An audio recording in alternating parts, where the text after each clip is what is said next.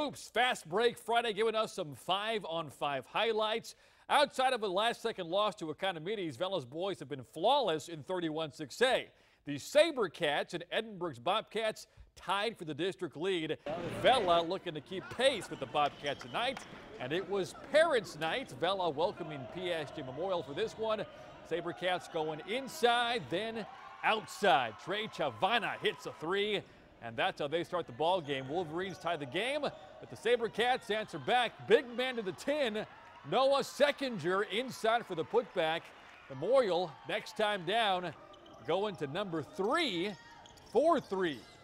David Garner on the money there. Memorial within one. After that, Adrian Rosales taking the rock right to the rack.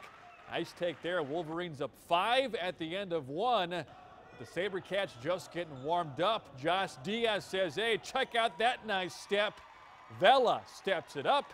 Sabercats go on to win 73-54.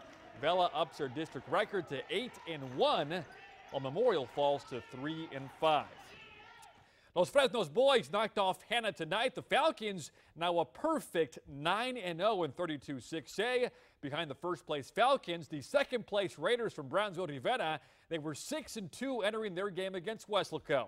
Here with the update from Brownsville, Channel 5's Brendan Ortega. Joel, if the season was over before tonight, Rivera would be in the playoffs. Weslaco would be out. However, with six games left in the season, playoff position very much up for grabs. Last time these two teams met, the Panthers won at home. Tonight we were at the Raiders' house and they looked comfortable on their home floor. Martin Lopez, shooter's touch, count it, and one. Raiders on top, and then it's Johan Morales, three ball, corner pocket. It's good. Rivera up 7-3. Braxton Bloomquist then got hot from beyond the arc. Splash here from downtown. Then another.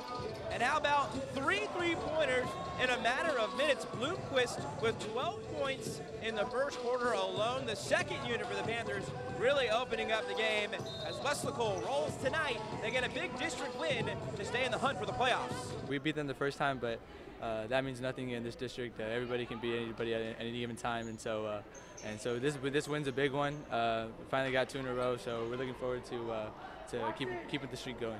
A huge win on the road tonight for Weslaco. They improved to five and four in district play. The Raiders fall to six and three, right behind Los Fresnos for first place in the district. And now the path to the playoffs doesn't get any easier for either team. Weslaco gets Harlingen South. Rivera gets Weslaco East. Joel, back to you. Thank you, B. A few more boys scores. Brownsville veterans, too much for Brownsville Lopez. And Edcouch-Elsa nabs the bragging rights as they beat Mercedes 56-50. Our featured girls game taking us inside the doghouse. McHi's Lady Bulldogs 5 and 3 in district play. La Joya's Coyotes 2 and 7 after they break the huddle. 1 2 3 team. We start the highlight second quarter. Coyotes Karina Casanova strong to the basket and off the glass and in. However, this 36A district match controlled by McHi throughout. Third quarter now, Brianna Coffey going right to the hoop for the layup. She had 17 points in this game. Later on, Heaven Wilbanks out to Coffey, who knocks down the J. McAllen goes on to win 58-21. Elsewhere across the valley, more girls scores. Harlingen South girls drop San Benito 63-48. McAllen Memorial all over Mission. Mustangs remain undefeated in 36A. Hidalgo remains in first place in 32-4A. And Sharyland downs Pioneer 52-46. That's a look at sports. We'll be right back after this.